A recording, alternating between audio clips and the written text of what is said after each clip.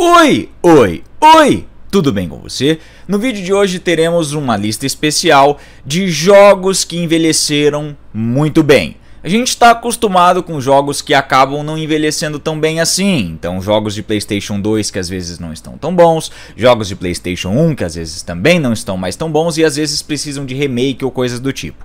Porém, no vídeo de hoje nós veremos jogos que, mesmo depois de muito tempo, eles continuam fantásticos de serem jogados.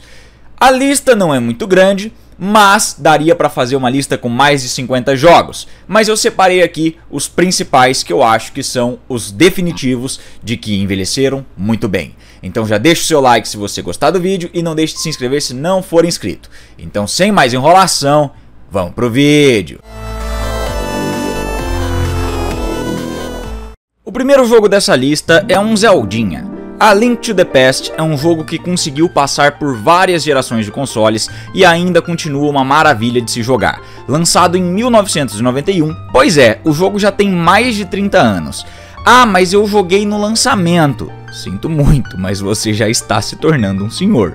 A Link to the Past consegue até hoje ser um jogo divertido, muito bonito e com uma jogabilidade muito bem trabalhada. Não falo isso só porque é um dos meus Zeldas favoritos, mas analisando em um ponto técnico, o jogo conseguiu se manter atual em vários aspectos. Mesmo que algum sistema de jogo pode estar um pouco datado, em sua maioria ele sobrevive muito bem nos dias de hoje e facilmente poderia ser considerado um jogo atemporal. Se você ainda não jogou nenhum Zelda ou não jogou a Link to the Past, só vai que você não vai se arrepender. É um baita de um jogo e realmente vale muito a pena jogar uma coisa importante, se você estiver procurando esse jogo para jogar e tem um Nintendo Switch, você pode jogar ele no Nintendo Switch Online com o Super Nintendo. O jogo está presente lá e você não vai se arrepender de dar uma chance para esse game no portátil. Se tem uma coisa que a Rockstar consegue fazer, são clássicos. GTA San Andreas conseguiu ultrapassar a barreira gamer e é conhecido até mesmo por quem nunca jogou videogame na vida. Meus pais conhecem GTA, meu pai principalmente, porque ele meio que não gostava que eu jogava o jogo. Diferente de seus antecessores, o San Andreas conseguiu se manter firme no quesito tempo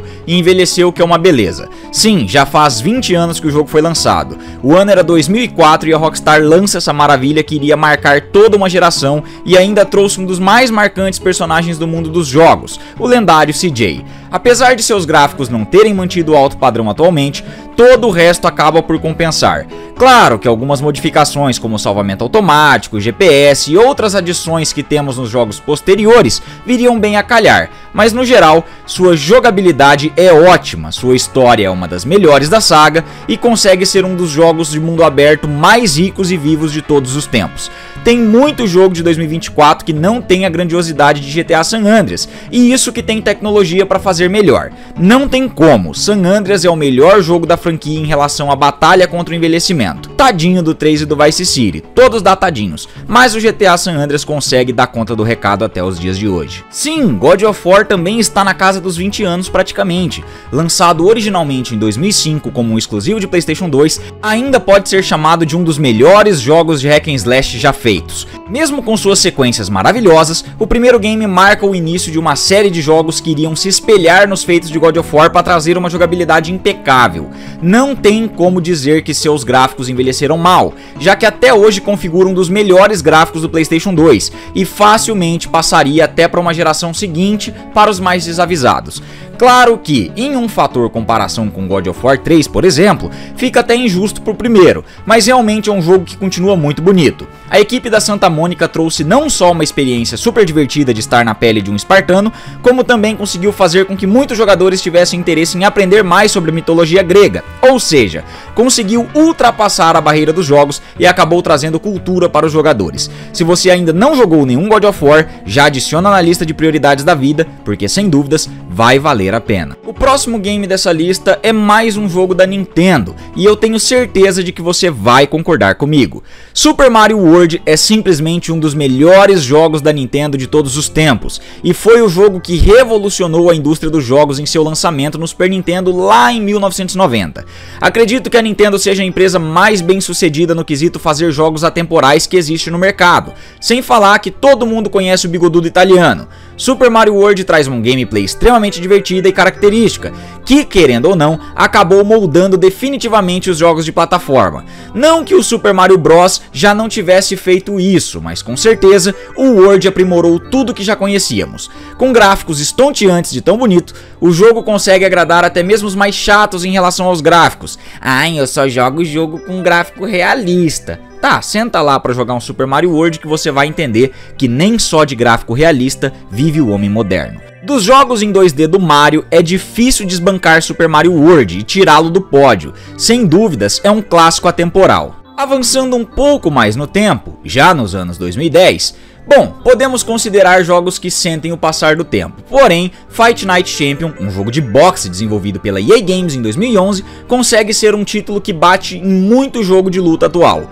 O jogo apresenta uma jogabilidade completamente dinâmica que agrada os mais variados tipos de jogadores, indo desde o casual até os mais hardcore. Eu vou trazer uma análise completa dele aqui para você logo logo. Se pegarmos jogos dessa mesma época do PlayStation 3 e Xbox 360, podemos perceber que alguns jogos perderam muito da qualidade gráfica conforme os anos foram passando. Porém, isso não acontece aqui. Fight Night Champion consegue ser um dos jogos mais bonitos da geração, podendo até mesmo ser confundido com o jogo atual. A movimentação dos personagens, os efeitos de suor, saliva, sangue, hematomas, tudo muito bem feito e realista. Pois é, esse ainda é da remessa de quando a EA fazia jogos bons. Apesar de não ser um jogo tão velho, já podemos chamá-lo de clássico. Não há jogos de esporte no mercado ainda hoje que conseguem confrontar Fight Night Champion. Se você está procurando onde jogar esse jogo, você consegue jogá-lo no Xbox através da retrocompatibilidade. Em 2010, a 2K lançou a sequência do grande jogo de máfia, lançado lá em 2001 para o PC.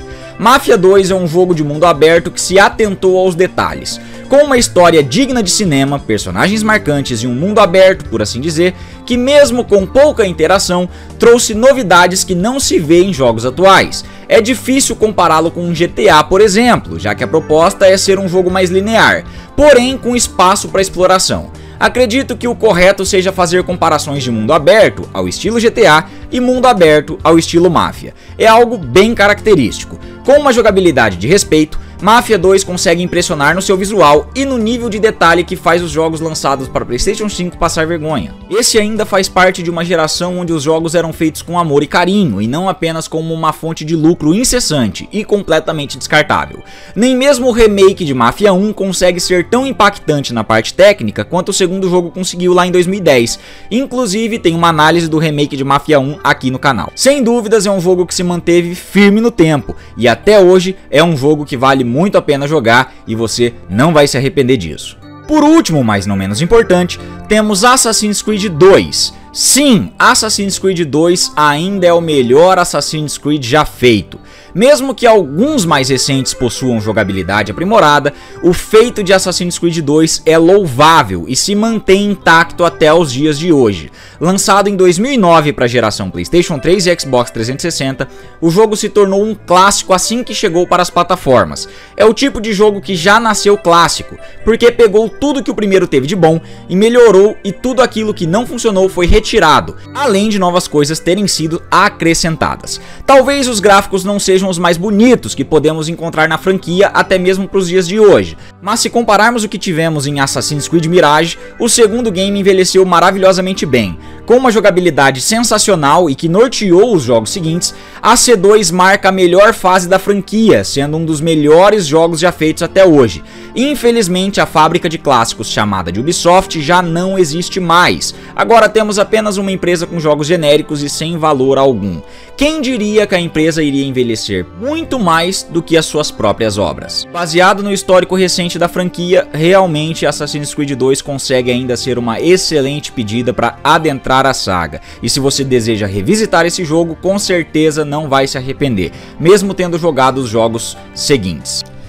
Então é isso, espero que você tenha gostado, se curtiu deixe seu like, se por algum motivo não curtiu o vídeo deixe seu dislike e não deixe de comentar o que você achou dos jogos dessa lista e se faltou algum jogo. Claro que faltou, então provavelmente se você der um nome aqui a gente vai pensar no caso de trazer uma parte 2. Quem sabe a gente não traga realmente uma parte 2 desse tema aqui. E se você tem alguma sugestão de tema para vídeo de lista, deixa aqui nos comentários também tá? Não deixe de se inscrever se não for inscrito para não perder mais nenhum vídeo aqui do canal e também não deixe de compartilhar com um amigo.